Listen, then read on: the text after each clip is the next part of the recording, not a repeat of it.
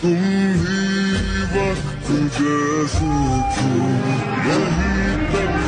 था सफर अपना तुम्हें है लौट कर जाना तुम ही वक्त जैसे थे यहीं तक था सफर अपना